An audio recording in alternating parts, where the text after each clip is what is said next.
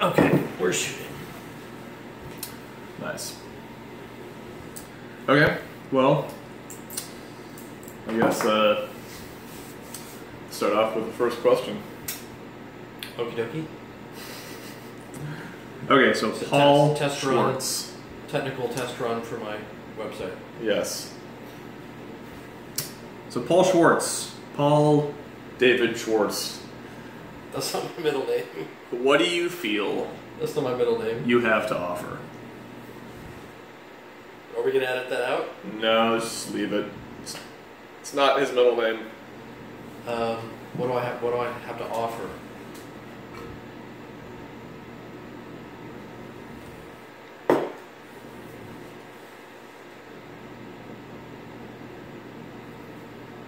It's funny. The first thing that comes to me, not being a smartass, but the first thing that comes to me is everything and nothing. Hmm. It's funny because I, I, I was thinking about this on the drive over, in terms of some of the things and what I'd say, and obviously I don't want to I don't want to come with a perspective of anything preconceived, but I was thinking I was thinking about the word help. I don't like the word help, Hmm. and because I don't feel, I mean, unless we're talking about you know specific context, I don't think people really need help. So I don't. The word doesn't resonate. I was thinking more a guide or a catalyst. Um, that that feels more sort of organic to me. So I can't say I, I am a perfect example of liberation or a perfect example of um, what should I say an awakened being, if I want to call it that. But I think I think I can act as a ca- catalyst in that regard. I mean, towards liberation, um, towards those things, a movement in that direction.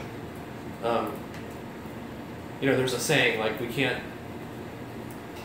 we can lead somebody to the door, but we can't walk through the door for them. So it's that kind of a thing. I mean, I think it, it, it truly needs to come down to one's own volition to do that. Hmm. But I could I could simply be a catalyst for that. Hmm. But I think what I have to offer is towards liberation, towards getting out of one's way, um, towards how to be a pure vehicle, Yeah. um, which are things that you and I have talked about a lot in the past. Right. So I would say those are the main, those are the main things. Yeah, for sure. What do you mean by liberation? I guess again, I would say um, cessation of the self, and I and I would mean the self, meaning the conditioned, programmed, um, egoic self. Um, so freedom from that. So operating more from a perspective of, if I want to say pure consciousness, operating more from a perspective of um, the here and now, unadulterated. Hmm. Um, so yeah, I would say freedom in its truest sense, but um, but I think it's mostly from our own internal our own internal internal wars. Um, but I would say mostly from the programmed and societal and cultural programming. Um, and conditioning, Hmm. freedom from that.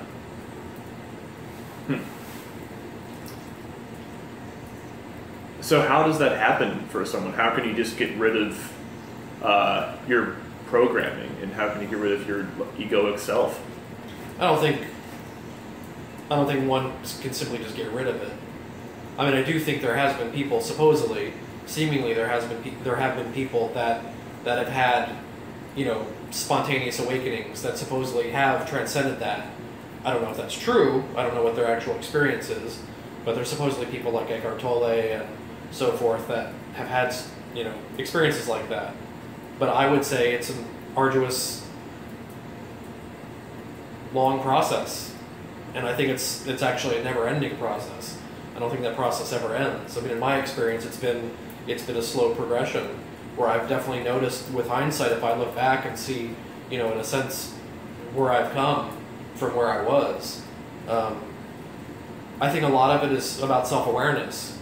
Um, one needs to truly cultivate self-awareness to be aware um, when one is putting themselves in a straitjacket, Hmm. where one is coming from a conditioned perspective or a program perspective. Um, but I think it happens over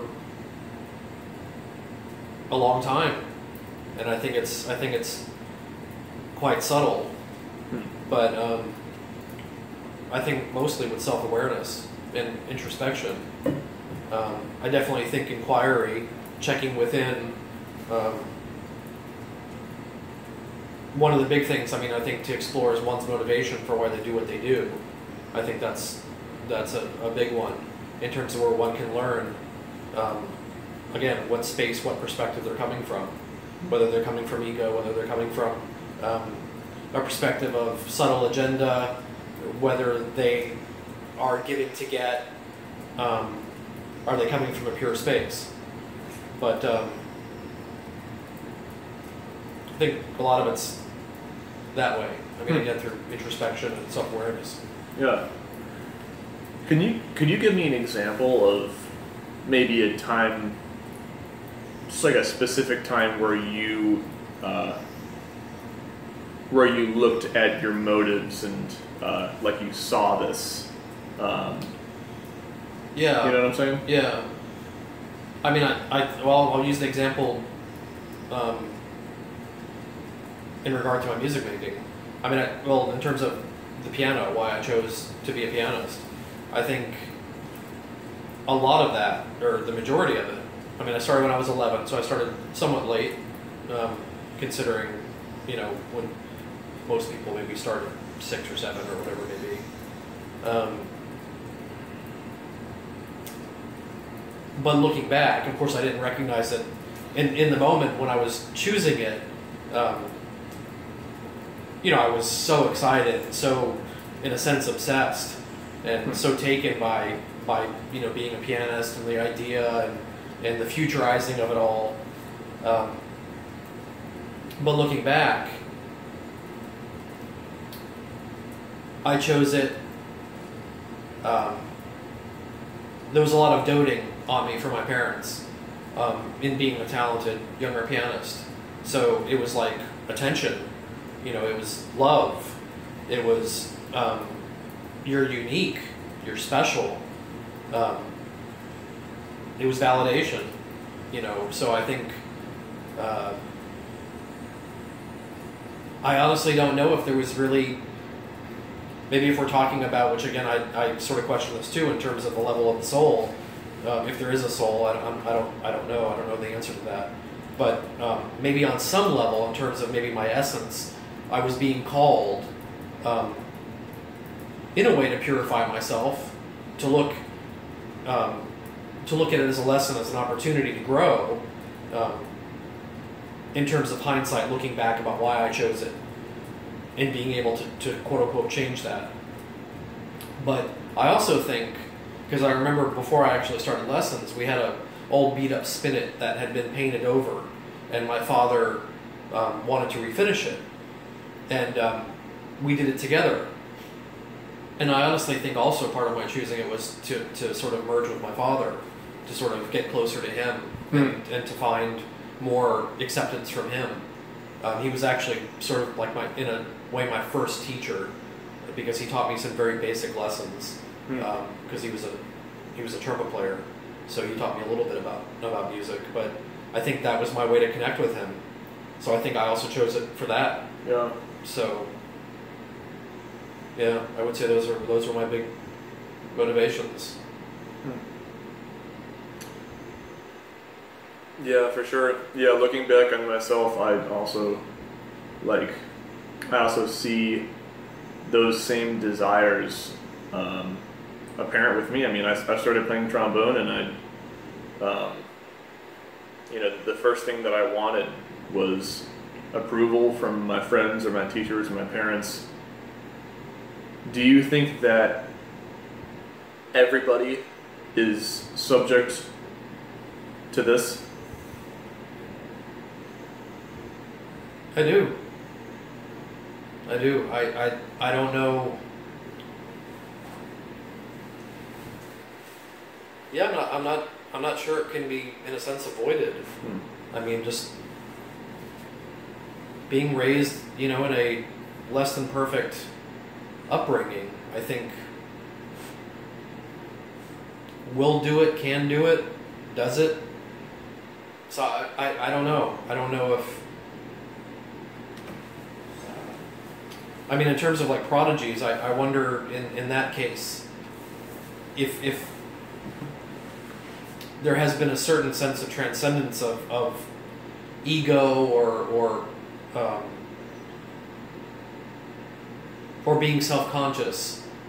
I mean, I honestly think that part of the reason why prod- prodigies are prodigies is because they're not self-conscious. Hmm. I think because if they were self-conscious, then most likely they'd question themselves a lot more, which creates a lot of doubt and a lot of insecurity.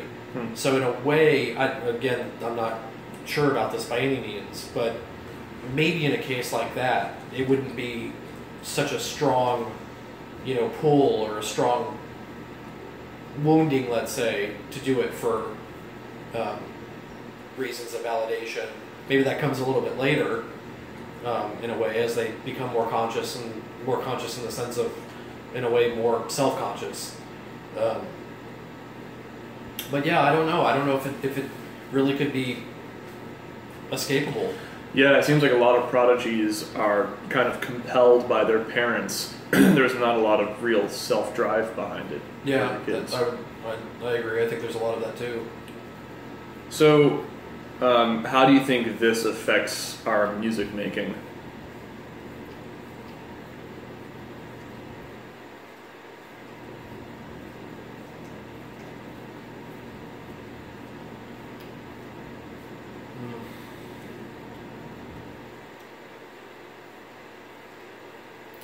I mean, again, I can only talk from experience, my own experience.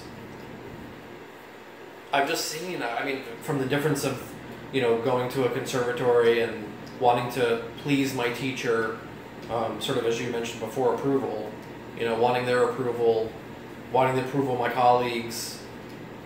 There's like this, this kind of structure or I'm not sure what the word is, platform that we're sort of always like hooked into that we're operating from that is is a it's a constriction it's a contraction. Um, there's nothing free about it. Hmm. but I think that in and of itself um, is a limitation. But I think when we're sort of always under this kind of operation I mean we're, we're in essence a puppet. Because a lot unconsciously we're, we're being run unconsciously by this idea of you know i need to be perfect i need people to accept me um, you know this is how this is what i equate with love uh, all those things. So when we're not really aware of any of that or conscious of that we're operating from that perspective. So it's like we're being driven by that. So there's always this kind of again superego or self-consciousness about am i doing it right? Um, again am i getting their approval? Are they accepting me? Are they uh, not rejecting me?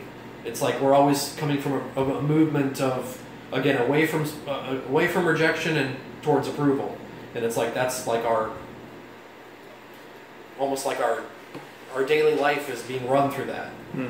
um, and so, from my perspective, in terms of my experience of that, I definitely remember that.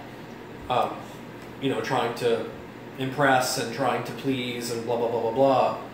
And now, so much of that has dropped, and I just I can feel the difference in terms of like I feel like now there is a co-creating happening because I'm not constantly thinking. It's it's coming more from a from a quiet space. Um, there's not a lot of ruminating. There's not a lot of um, how should I say um, self beratement and um, harsh self talk. Hmm. Um, it's really being present with what I'm doing. So much of it is being present with what I'm doing in terms of this co-creation, and it's happening right here and now, and it's not happening based on anything else. It's not happening based on what I've learned, or uh, maybe that maybe that is happening unconsciously on a certain level, but I'm not consciously thinking about, oh, this is what I've done in the past. I want to emulate that again. You know, I want to regurgitate that again. Um, I'm not sure if that really answers the question, but again, the, that freer perspective, that that that open space that it's coming from, you have endless potential in terms of that co-creation. Otherwise, when you're coming from this perspective of the puppet, or this perspective again, wanting to impress the straitjacket, how how could one have limitless potential in that regard? Because you've already put your you're already put yourself in a box. You know, you've already put structure around what you can or couldn't do. Um, so, I don't know. Does that sort of answer the question? Yeah, yeah. I it's could- like with with uh, the uh, version where the student wants to please please his teacher or his friends or just what colleagues or parents or whatever.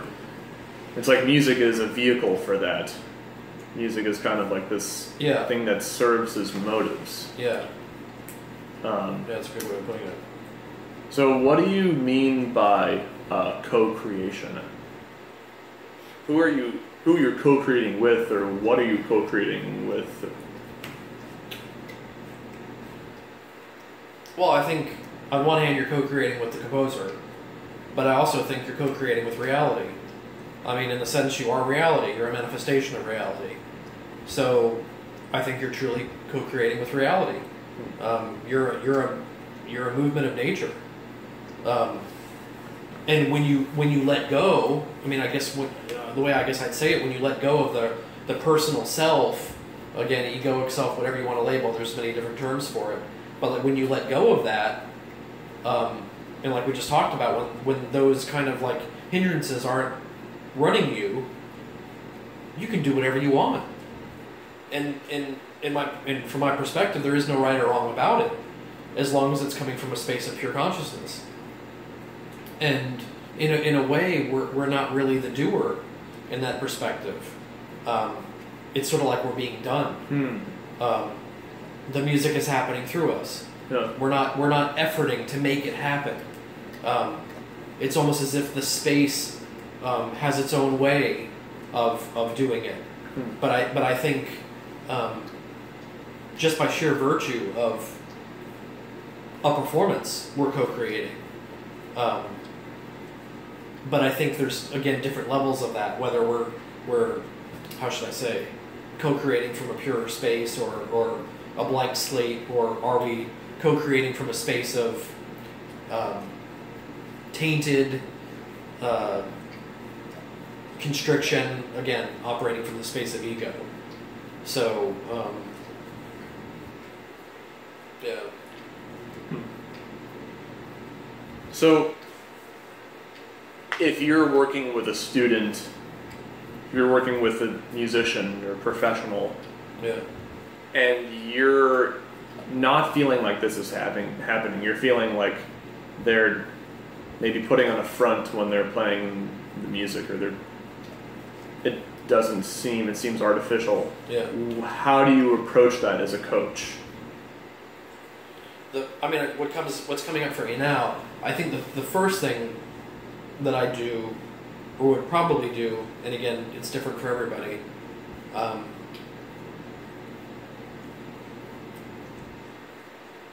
is I would sort of talk to them about dropping everything, and whether that's possible or not.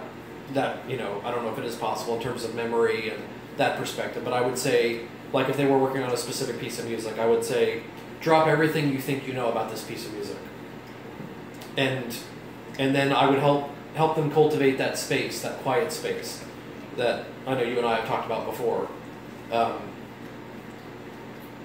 and usually, how I do that is by having them pay attention to the sounds around them, the sounds in the room, the sounds outside of the room, just to get to get quiet. What I call getting quiet.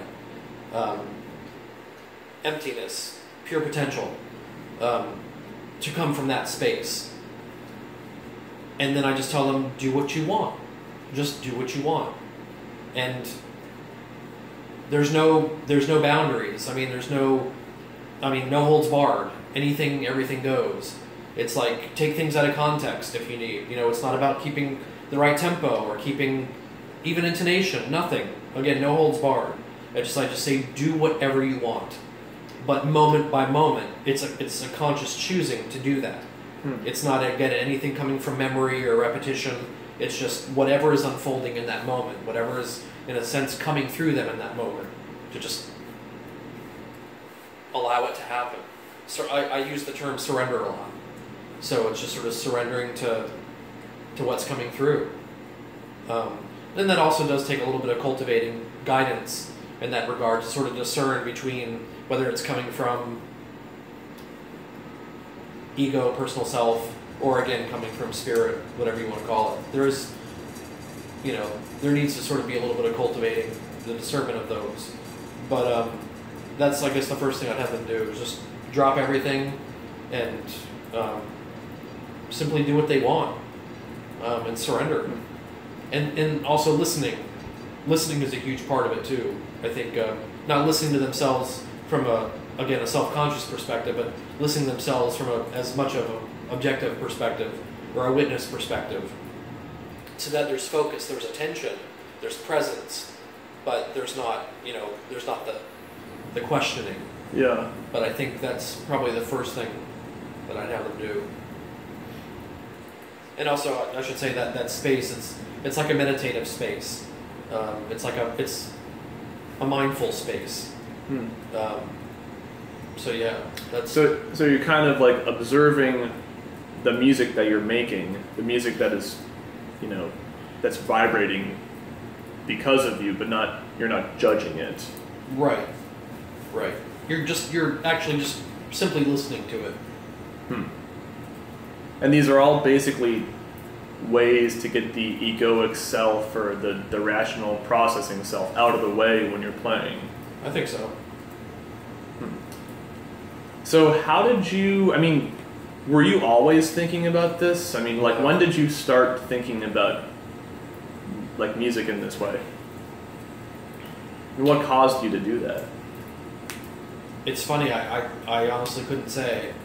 I definitely don't think there's there's a clear cut cause and effect in this in this respect. I mean, the only thing that I could say is I, I, I just remember when I started therapy, um, talk therapy, but it was more of a spiritual based, spiritually based um, therapy, if I want to call it that. And I just, as I started to get to know who I was or who I thought I was, and again experiencing more liberation from that, I just sort of took from that and again I can't even say how I did it. I think it was just through experimenting and, and experiencing and practicing and playing with different ways of thinking and being and feeling. And um, and just figured and felt wow this is really causing a change. How, how I perceive music making and how I interpret things and and and feedback. Um, but I, I would say a lot of it was just sort of getting on the road and the path to to if I want to call it liberation just through um, therapy. I had I had some rough times in my life you know through broken relationships and um, a lot of self-doubt and um, low self-esteem things of that sort. And I remember asking a friend of mine who was a, a singer someone who I trusted um, I mean she was more of a mentor. And I asked her who she recommended for me to talk to and she recommended this man. And I mean I, I worked with him years and years and years and he taught me so much and he's the one basically put me on this path I would say. And from then it's history. Hmm. but I would say I just I, I took from in, in essence my spiritual work. I think I would say I took from my spiritual work and just sort of in a way shifted it to to my work with music so that's I'm being I'm being general about it but I would say that's mostly it Yeah. So, how do you know like if you're if you're listening to someone perform how do you know if it's authentic music making That's a good question. I mean, ultimately, I don't know. Um, I can only go again based on my own um, feelings about it. sure What feels true, what feels, um, like you said, authentic. It's it's really a subtle sense. Um, I like to think I'm perceptive. I like to think I'm sensitive to those to those things um, in terms of what I pick up. But um, it's funny, you know. I, I that's a really good question. I can't really say uh, how I know, Hmm. um, or again that I do know for sure. It's just a felt sense.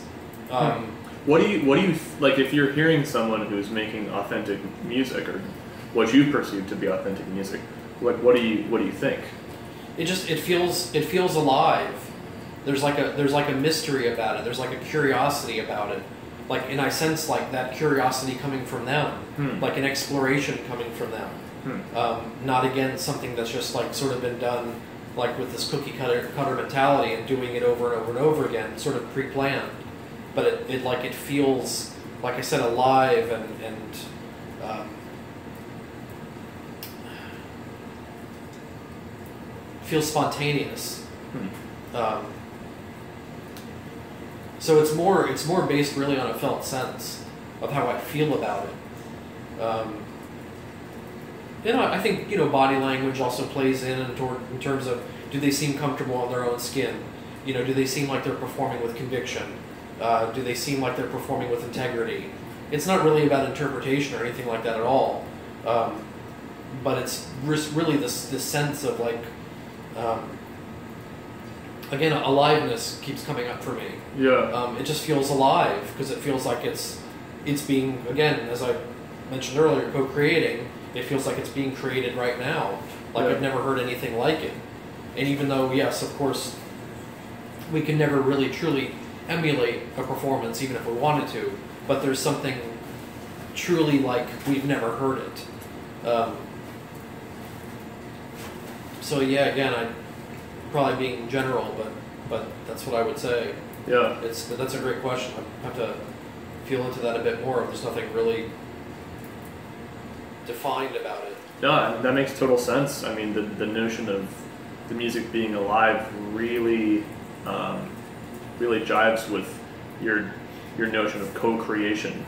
It's just, you know, it's happening. There's just no artificial agenda for Yeah. the music. I feel like I, I feel drawn in. I guess is another thing. I feel like I feel like I'm a part of that actual process um, with this person who's performing. I just I feel like I'm drawn in. But um, but I'm definitely feeling like I said like a curiosity and exploration from them. I mean that's what it feels like to me also when I'm performing. Yeah. It's like I'm, I'm, you know, there's a there's an expression beginner's mind. There's a well-known book called Zen Mind, Beginner's Mind, and it's basically like looking at everything with with virgin eyes. And it's the same thing when I when I try when I approach a piece of music, even if I played it 50 times, I try to look at it with virgin eyes, with with beginner eyes. So it's it's um it's that constant just like how am I relating to it now? You know, like what wants to reveal itself, what wants to unfold um, through this vehicle of, of music. Hmm. Um, so that's I would say that's a lot of it too. Hmm. Um, it almost has like this kind of childlike, you know, again curiosity or like, what is this? Hmm. You know that kind of a thing. Interesting. Yeah, that, that makes a lot of sense. And one of the reasons why I like the word co creator is because I, I feel a lot of people, when they play music, they don't let the other part create. They want to do all the work themselves. They want to maybe stifle whatever music could be happening. So, this Yeah. notion of co creating, you're, you're letting something else create it with you. Yeah. Yeah. I mean, like, best way that I can put it, like I said, is like you're letting yourself be done, Huh. um, or letting yourself be played. Huh. Um, yeah. It's I think it's, it's very it's very apt. Do you notice this in any other art forms, or do you, do you notice this? Because it, it kind of goes back to this whole idea of um, not letting your uh, rational or processing mind get in the way. So, is this just a music thing, or? No, I don't think so. I mean, I, I, I think again, I think I notice it in people in everyday life, away from music, just being able to sort of get a sense. And I'm not saying again that I know, but you know whether there's a sense of authenticity. Are they are they being truly who they are? Um, are they comfortable in their own skin? Are they do they have a subtle agenda? Are they trying to get something from me? Um, you know, so I think it I think it follows suit with everything. Hmm. Um, people being honest with themselves, are people being honest with me, um, that kind of a thing. Hmm. And again, I know I can't ultimately know that, but it just it, it's a felt sense. It's really an intuitive thing. Yeah. But um, so yeah, I think it's all across the board. Hmm. I think it just manifests in different ways. Yeah. Yeah, I know you've mentioned before about how we we play who we are. Yeah, yeah. I was I was going to say that earlier. Yeah, I, I coined that phrase from um, Parker Palmer's book, The Courage to Teach. He says we teach who we are, and I sort of you know took that and we perform who we are, which I think is very very true.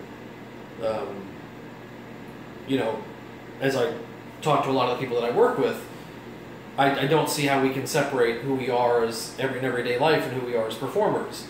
So there's this aspect of if I have a fear of vulnerability in my everyday life and relating to other people, how am I going to be vulnerable when I get up on stage? You know, I mean, maybe certain people can really turn off that that again the self-conscious, uh, you know, the berating thoughts and, and that kind of stuff. But I don't think that's the norm. I think that's more the exception. So I think it's sort of an obligation as a performer to look at those things, you know, that are sort of holding us back. I mean, whether it's vulnerability, fear of vulnerability, whether it's again fear of failure, whether it's um, whether it's even about you know not feeling comfortable um, in terms of who they are, um, in terms of self love. Um, I think really it's our obligation to explore all that. Otherwise, I mean, we're choosing to be an artist. You know, I really think an artist needs to be someone who's um, well rounded is much too generic, but um, but who's really in tune and in touch with themselves and um, doesn't have such a difficult time bearing their imperfections. Um, I think a lot of that is actually an opportunity to use that for, you know, use it energetically for the stage. Um, if we're feeling fear, use use the energy of fear, or use the energy that fear feels like. Hmm. Um, so I think that's that's very important. But but yeah, I, I, I feel like using the example again of vulnerability. If I have a fear of vulnerability, how do I expect how do I expect to in, not to say that our agenda should be to inspire people, but how do I expect as a byproduct of me being who I am to inspire people? You know, how do I expect to, to move people if I'm not moved? So I think that's you know, I, I use that, that phrase a lot. I actually really like that phrase. Hmm. Um, and The Courage to Teach is a good book Yeah. Also. So you think if you're a performer and you're not addressing personal issues, then you're doing yourself a disservice as a person, but also as a musician as well. I think so. Huh. Not only doing ourselves a disservice, but I think we're doing the audience a disservice. Mm. I mean, you know, again, it, we're, I mean, they're paying money to hear us. I mean, I mean, um, how should I call it? I mean, it's it's, yeah, I think we are doing themselves and ourselves a disservice. Hmm. um, and not not not in the how should I say the the dumbed down version of yes they're paying money to hear us, um, and this is what we should do, um, and this is what they're expecting or whatever it may be. I mean, it's actually another thing I've been exploring recently, which I can't say I've come to any conclusion, but I also feel that the audience has a certain obligation themselves, which is to be open to receive. Because I feel like a lot of audiences, I mean, there's a lot of reasons why they go to concerts, but let's say they're going to a concert to experience something, to move, to be moved.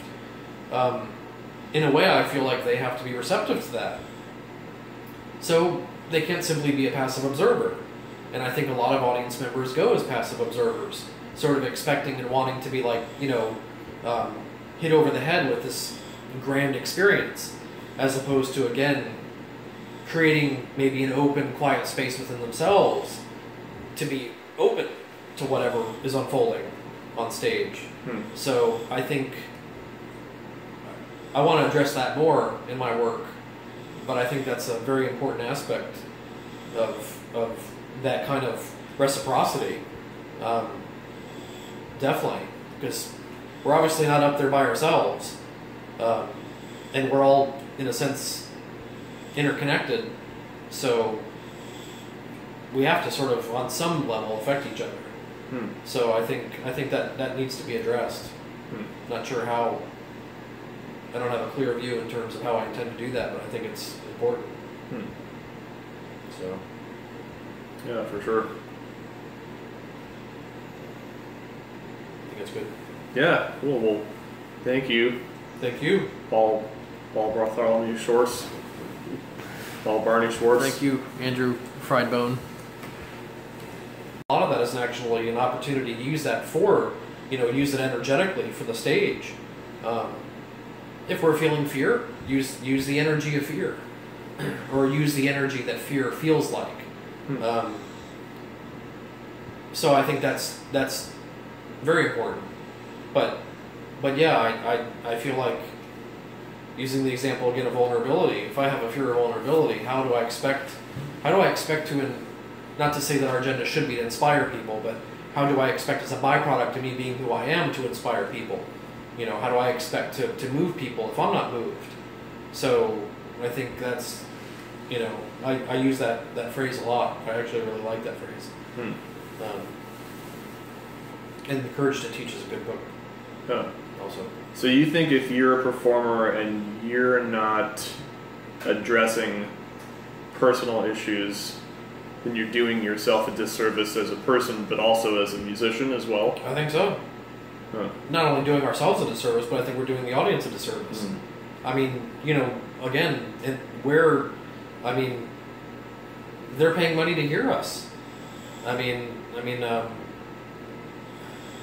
how should I call it? I mean, it's it's, yeah, I think we are doing themselves and ourselves a disservice. Hmm. Um, and not not not in the how should I say the the dumbed down version of yes they're paying money to hear us, um, and this is what we should do, um, and this is what they're expecting or whatever it may be. I mean, it's actually another thing I've been exploring recently, which I can't say I've come to any conclusion, but I also feel that the audience has a certain obligation themselves, which is to be open to receive. Because I feel like a lot of audiences, I mean, there's a lot of reasons why they go to concerts, but let's say they're going to a concert to experience something, to move, to be moved. Um, in a way, I feel like they have to be receptive to that. So they can't simply be a passive observer. And I think a lot of audience members go as passive observers, sort of expecting and wanting to be like, you know, um, hit over the head with this grand experience, as opposed to, again, creating maybe an open, quiet space within themselves to be open to whatever is unfolding on stage. Hmm. So I think I want to address that more in my work, but I think that's a very important aspect of, of that kind of reciprocity. Um, definitely, because we're obviously not up there by ourselves, um, and we're all, in a sense, interconnected. So we have to sort of, on some level, affect each other. Hmm. So I think I think that that needs to be addressed. Hmm. Not sure how. I don't have a clear view in terms of how I intend to do that, but I think it's important. Hmm. So Yeah, for sure. I think it's good. Yeah, cool. Well, thank you, Thank you. Paul, Paul Bartholomew Schwartz, Paul Barney Schwartz. Thank you, Andrew Friedbone.